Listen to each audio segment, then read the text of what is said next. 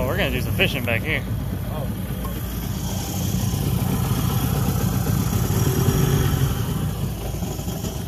I'm a, uh-huh.